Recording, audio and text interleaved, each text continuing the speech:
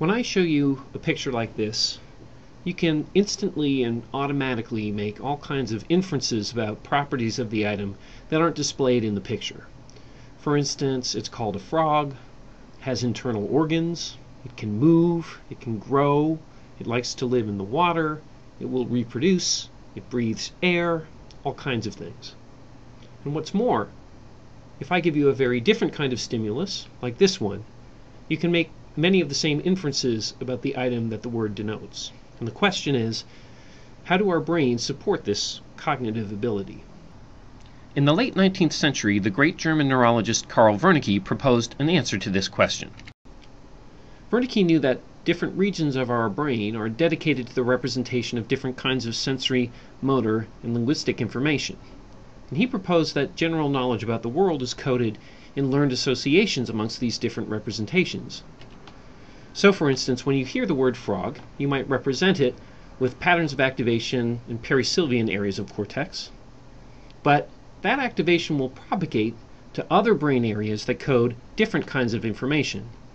So, for instance, you might activate representations of the object's shape in the inferotemporal cortex or its color in neighboring regions you might represent the way it moves with patterns of activity in middle temporal cortex.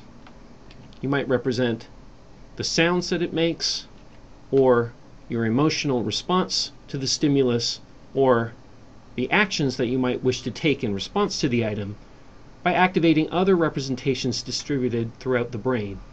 And Wernicke really thought that those associations were encoded in a distributed network that really ran all throughout cortex, so that there was no single place where the meaning of the word or the object might be stored. And on the basis of this idea, he predicted that one should never see an impairment that selectively disrupted our general knowledge about the world. This prediction was disconfirmed in the mid 1970s when Elizabeth Warrington described just such an impairment in a syndrome that has since come to be known as semantic dementia a progressive disorder that gradually erodes everyday knowledge about the world while leaving other cognitive abilities remarkably intact. In the 1990s, John Hodges and Karalyn Patterson documented three remarkable aspects of this syndrome. The first is that the dissolution of knowledge in the disorder is not arbitrary, but is highly structured. For example, in one study, a patient with semantic dementia was asked to name line drawings of common objects and animals. This table shows the responses he gave to various different kinds of birds in the set. In his first session, the patient correctly named the bird, chicken, duck, and swan, but produced incorrect names for the eagle, ostrich, peacock, penguin, and rooster, calling these items either a duck, a swan, or a chicken. Six months later, he was unable to get any specific bird name out, with the sole exception of the word chicken. All of the other items were called bird.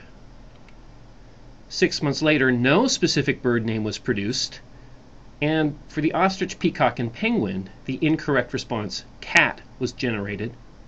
And six months after that, the word bird was not produced for any item. Instead, the patient called several of the birds animal, produced the incorrect response dog and horse for some items, and even very occasionally made very unusual responses, such as calling the peacock a vehicle. We see two general patterns in these responses. First, we see confusion of semantically related items. When incorrect names are produced, they tend to refer to similar kinds of things. In this case, other birds, or later on, other kinds of animals.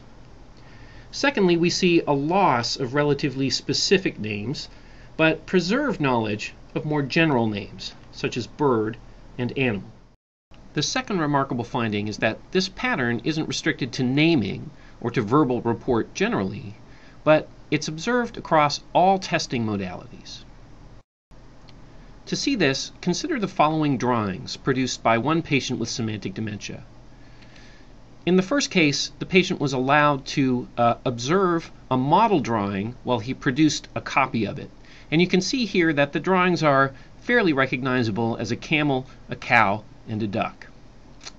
In the second case, the patient was allowed to consult the model drawing, but then it was removed, and the patient was asked to draw what he had been looking at from memory 10 seconds later. and he produced drawings that looked like this. What you can see is that the items aren't completely unrecognizable. Indeed, they're recognizable as animals, and they have particular parts that are recognizable, like eyes, mouth, tail, legs. What's missing are any idiosyncratic details that would allow you to understand which kind of animal you're looking at. The udder of the cow, the feathers on the tail of the duck, these properties are missing, as though the patient has lost information about the visual properties of objects that differentiate conceptually related things, just as they have lost the names that individuate conceptually related things. The third remarkable fact concerns the nature of the pathology observed in the disorder. Wernicke might have explained the pattern that we've just described as arising from a kind of global pathology throughout the brain, since he believed that the associations amongst different kinds of representations were really very widely distributed in the brain. But that is not, in fact, what we see. This figure shows regions of gray matter atrophy in two patients with semantic dementia. Anywhere that the image is colored orange shows places where the patient had less gray matter than other age matched healthy adults in the sample. And what you can see is that the pathology tends to be concentrated in the anterior part of the temporal cortex, more pronounced on the left, but if you look closely, you can see that there's pathology in both the left and the right hemispheres, which is the characteristic pattern that we see in semantic dementia.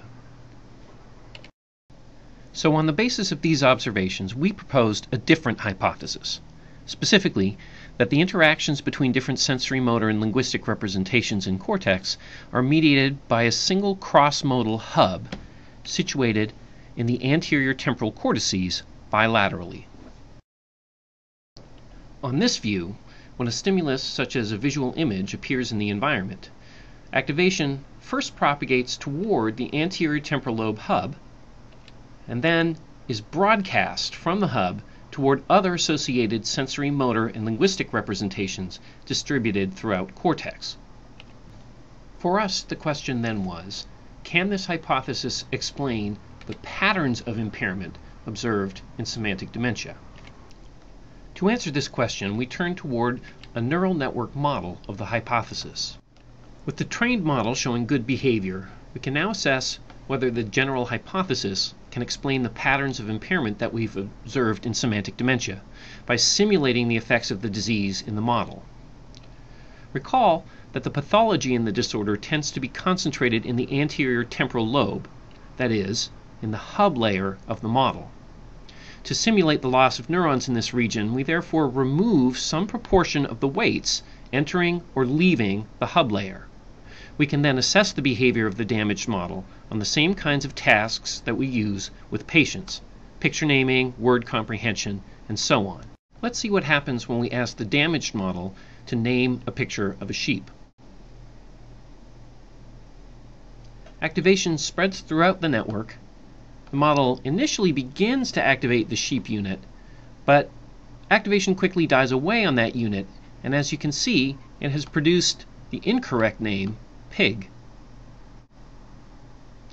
Here's the damaged model naming the cat. It gets that correct. Here it names the dog, again correctly. And here it names the eagle. Recall that the healthy model produced the name eagle in response to this image, but the damaged model has produced the name bird. Here it names the train correctly, But here, when given the sled as input, rather than producing the word sled as output, it produces the word motorbike. The impairment is not restricted to naming. Here we provide the model with the name eagle as input. In response, it generates an incorrect visual representation. Some of the eagle's features are missing, while other properties are incorrectly added in. We can simulate more severe damage in semantic dementia simply by removing a larger proportion of the weights entering and leaving the hub layer.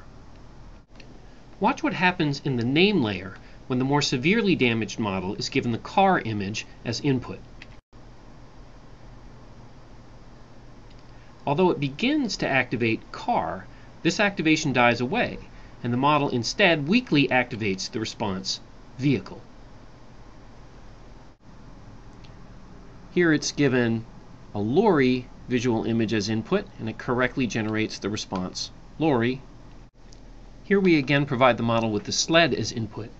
Recall that under milder damage, the model produced the response motorbike to this input, but under this more severe damage, what we see is that it's unable to generate any name at all, consistent with the response, I don't know what that is.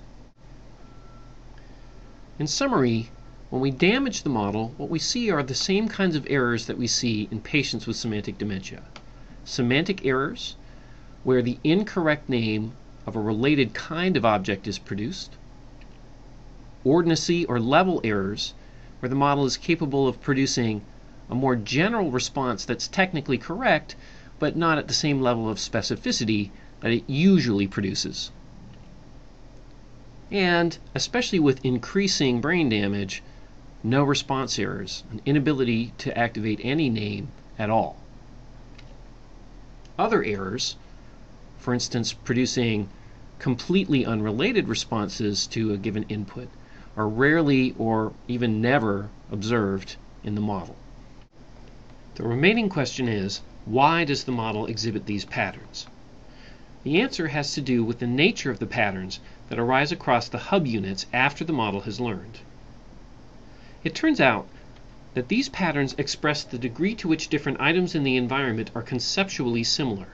That is, similar kinds of things evoke similar patterns of activation over the hub units after the model has learned. Thus, for instance, the various different birds all evoke quite similar patterns, the various different mammals all evoke quite similar patterns, and so on. The pattern of activation that arises in response to the eagle can be viewed as a point in a high dimensional representation space. Other birds evoke similar patterns to the eagle, and so correspond to nearby points in the same space. Other kinds of animals evoke somewhat similar patterns to the eagles, and so are somewhat close in the space, while unrelated items, like sleds and irons, are represented with very different patterns, and so lie very far away in the representation space. Now consider what happens when the model must name the eagle. Other birds that are conceptually similar to the eagle, hawks, falcons, vultures, and so on, are represented with similar patterns, but they have different specific names. So to get the answer correct, the model must evoke exactly the right pattern across the hub. Any distortion of the pattern as a consequence of disease will cause the model to confuse the eagle representation with nearby patterns, thus producing an incorrect specific name. However, the name bird applies to all of the eagle's representational neighbors. Thus, if the eagle pattern is mildly distorted due to brain damage, the model can still generate the bird response. Likewise, the name animal applies to all of the birds, and also to all of the neighboring mammals. So, even when the eagle pattern is grossly distorted as a consequence of disease, it is likely to be able to generate the animal response. In other words, both the tendency to confuse semantically related items and the relative preservation of more general information about objects arise in the model because the patterns of activation that arise across hub units through learning end up expressing the degree to which different items are conceptually similar.